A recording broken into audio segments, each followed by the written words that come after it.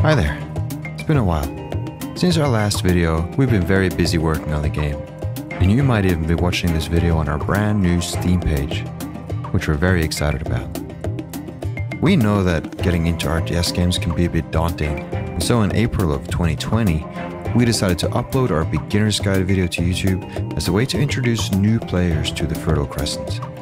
This was before we created the in-game tutorial, while we were still working on the game in our free time.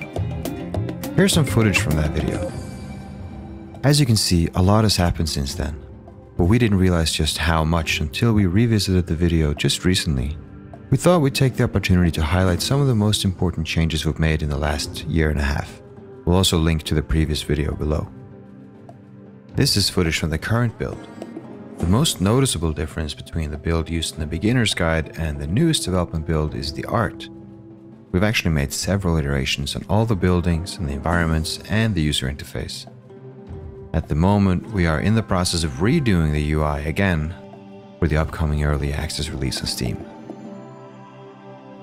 Another notable difference is that the beginner's guide only mentioned the importance of foraging and farming, but since then we've also added animals that can be hunted for food. And the palace. Before we introduced the palace, you could unlock any of the technologies right from the start of a match.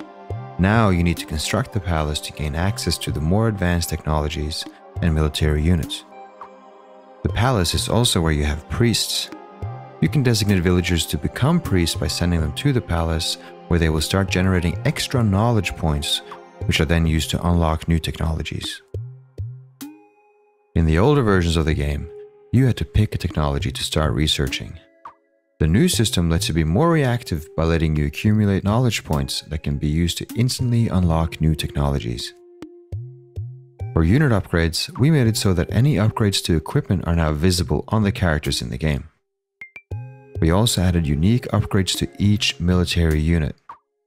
These upgrades are also unlocked by spending knowledge points in the technology tree. All the units are good at different things, and with the unit upgrades, they specialize even further. An example of this is the Heavy Spearmen, who already have decent protection against ranged units. With the upgrade, the Heavy Spearmen will gain additional health and armor against ranged attacks.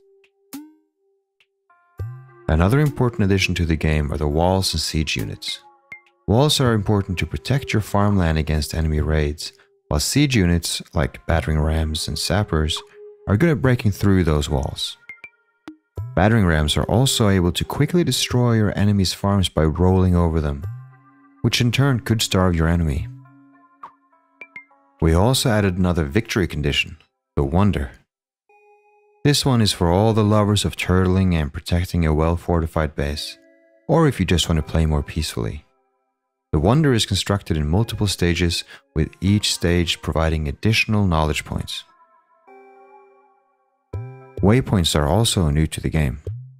Being able to queue commands is very important, especially in competitive games. And with TFC having had a focus on online multiplayer in the past, we made sure to add this as well. The last of all the big improvements we made are the changes to pathfinding. We consider this one of the most important aspects of any RTS game. And if the pathfinding isn't good, the game quickly stops being fun to play. This is why pathfinding has been a focus for us. And we have now combined three different pathfinding systems to make it a smoother experience. We've also implemented a whole lot of other what we call general improvements, like villagers using carts to carry resources after you have researched the wheel, improvements to Fog of War, general performance improvements, and a lot of other bits and pieces. We think these changes have really improved the gameplay overall and we look forward to hearing your thoughts. Uh, if you have any suggestions or feedback, feel free to join the Discord link below. We also hope to be a bit better about doing video updates going forward and not wait a year and a half between each video. Thanks for sticking with us, and uh, we'll see you in the next one.